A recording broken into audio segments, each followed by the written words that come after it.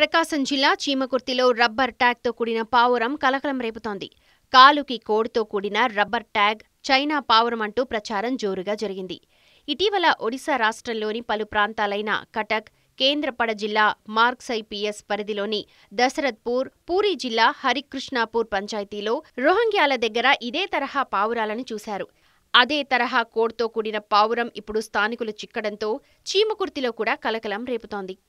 ఒడిశా రాష్ట్రంలో పట్టుబడ్డ పావురాల కాలికి ఉన్న rubber ట్యాగ్పై VHF Vizag one nine seven four two zero two one అని ముద్రించుండటంతో అనుమానాలతో దాన్ని స్వాధీనం చేసుకున్నారు పోలీసులు.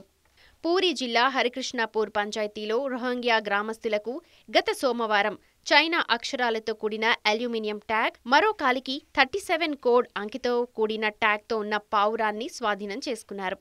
ఇదే తరహాలో చీమగుర్తి నెహ్రూ నగర్లోని ఓ అపార్ట్మెంట్లో నాగరాజు అనే స్థానికుడికి చిక్కిన పావురం కాలిపై rubber ట్యాగ్పై AIR two zero one nine two two zero seven అన్న కోడ్స్ ఉన్నాయి.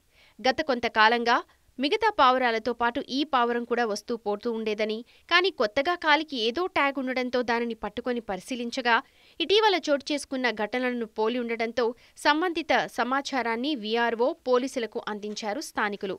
ప్రస్తుతం ఈ కేసుపై దర్యాప్తు కొనసాగుతోంది.